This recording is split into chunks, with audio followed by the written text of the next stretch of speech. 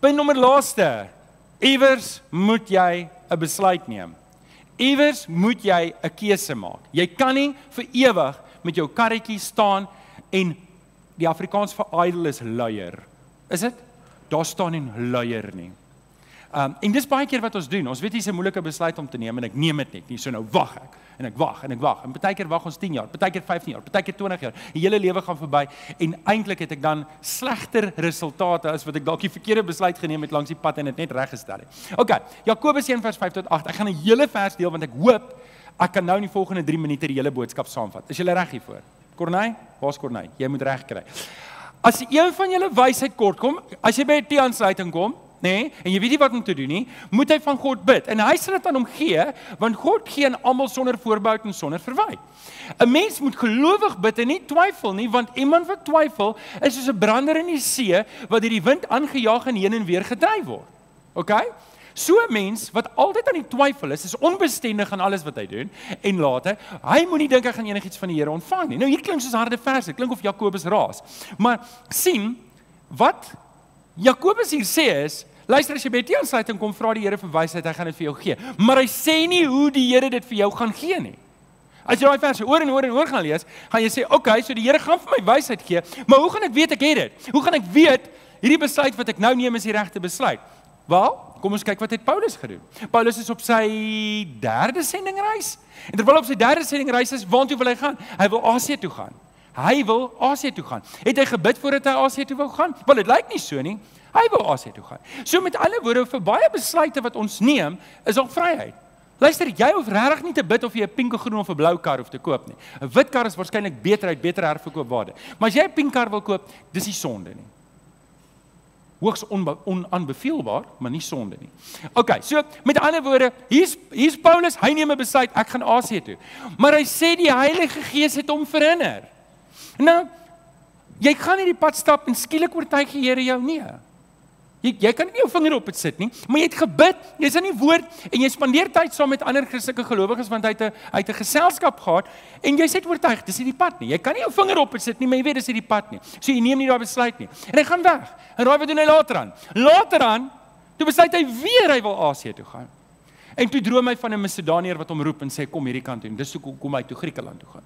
So met ander woorde, wat ek en jy ook moet doen is wanneer ek en jy gebid het dan moet ons weer aan die beweeg kom en die Here vertrou. So hier's die ding.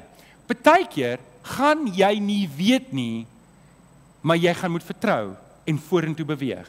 Jy gaan moet sê, Here, ek het gebid, ek het die tyd spandeer, Um ek was in die woord van die Here. Ek het tyd gespandeer met gebed. Ek het met my my my gelowige raadgewers gepraat wat ek weet ek vertrou hulle. Hulle is lief vir die Here, hulle dien die Here. Ek weet ons nie bedrog in hulle lewens nie.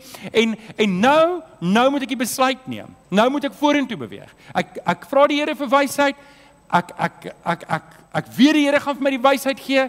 Ek het gelowig gebid. Nou moet ek 'n besluit neem en ek gaan begin beweeg. Partykeer eers klein stappies Maar dan beweeg ek en dan beweeg ek en dan beweeg ek. Ek het baie vriende wat getuienisse het hoe hulle besluit geneem het nadat hulle gebid het wat gebleik het dat dit die verkeerde besluit is net om later aan weer te kom en te sê my jene hierdie lyk soos 'n verkeerde besluit wat ek in eerlikheid geneem het was deel van die groter plan dat die Here sekere goed in plek ontsit om my te kry waar ek nou is sodat ek kan weet waar hy my wil hê vir sy werk vorentoe. Maar ek en jy moet vertrou en ons moet die beweging kry. Want wat sê Jakobus is iemand wat die hele tyd twyfel. Ek het dit vir julle gedoen met die doodloop. Hy is soos 'n brander van die see. Hy sê, "Oké, okay, oké, okay, oké okay, ouens, ek het nou gebid, ek het wysheid, ek het alles. Hier gaan ek." Woep, nee, nee, nee, nee, ek's te bang, ek's te bang, ek's te bang. Dis soos party van ons wanneer die somer aanbreek en die swembadwater is nog te koud. Hier gaan ek, hier gaan ek, hier gaan ek, hier gaan ek. Ooh, dis te koud. Hæ? Doen julle dit ook? Ons net ek. En dan op 'n stadium sê gaan spring en dan gaan jy en dan en dan sien. Nou okay, asseblief moenie so 'n besluitneming instorm nie. Maar iewers moet jy 'n besluit neem en sê Here, ek vertrou U. Ek gaan nie 'n golf wees oor heeltyd heen en weer, heeltyd heen en weer. Want jy gaan dit vir 20 jaar doen. Jy gaan dit vir 30 jaar doen. Iewers moet jy sê Here, ek vertrou U en ek neem die besluit en ek beweeg daar. Elke besluit het gevolge. Jy gaan 'n besluit neem en partykeer gaan jy later en agterkom, okay, dit was nou nie die beste nie. maar jy gaan die gevolge aan die Here toe vertrou. Want die realiteit is om nie besluite te neem het ook gevolge. En my ondervinding is baie kere daai besluitneming om nie 'n besluit te neem nie slegter gevolge in jou lewe as die wat jy in goeie trou geneem het. So vertrou volkom op die Here. Vertrou dat die Here jou gaan lei. Nou oké, okay, ek wil afsluit. Korna, julle kan vorentoe kom. O, julle staan al op aandag.